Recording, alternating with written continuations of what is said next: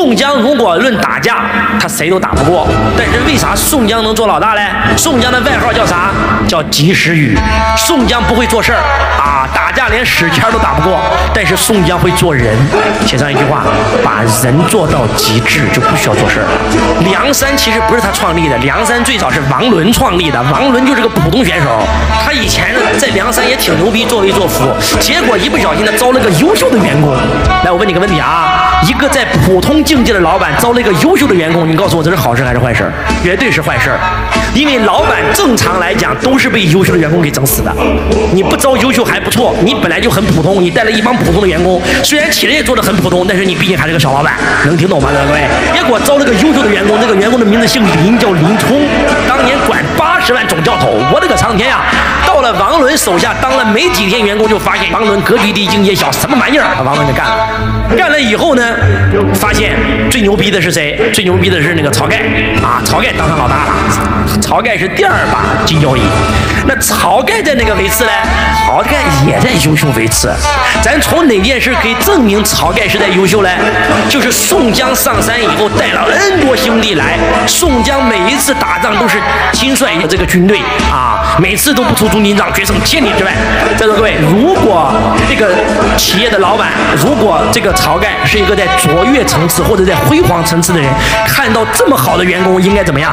多好啊，贤弟，你太厉害了，激励贤弟拿打更多的地盘嘛。但是这哥们怎么说的？这哥们就感觉到自己的面子都被宋江抢了，风头都被他抢完了，他要跟员工抢荣誉感，所以他就跟宋江说：“贤弟，你看你这太累了，这次我去。”你说你去就去吧，你向宋江学习，人家每次带队打仗带着军师吴用，对不对？军师吴用给他排兵布阵，他就在中军帐里面一坐，排兵布阵，决胜千里，运筹帷幄。你可倒好，军师吴用也不带，一马当先冲到前面，想建功立业吗？想要荣誉感吗？啊，冲啊！一箭咔嚓给人射死了，啊，这就是优秀的人。所以在座的各位，一个普通的老板。很普通，他一旦招了个优秀的人，直接被干死。一个老板很优秀，结果他招了一个卓越的人，直接被取而代之。有人说，老师，那我们不招优秀的人，企业又不能发展；我们不招卓越的人，企业不能发展，这可怎么办嘞？这就是个矛盾啊！这就是我既然要用优秀的员工，我就必须要超越优秀，进入卓越，我才有可能驾驭好优秀的员工，是还是不是啊？然后我要用卓越的员工，我必须要逼自己，让自己上升到辉煌的位置，然后才能驾驭和降服那个什么。卓越的员工来写上一句话，这句话非常重要啊，非常重要。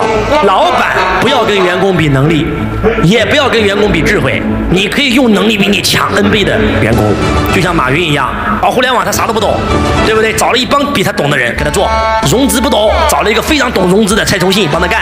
但是，这个各位，老板不要跟员工比能力，不要跟员工工比这个智慧，但是老板一定要跟员工比一个东西：格局、境界。你必须要，你的格局境界远超员工，只有这样，这些员工才愿意为你所干。如果一旦你的格局境界都比员工还低了，员工一定会取而代之，要不就离开你，这不用说的，这是肯定的。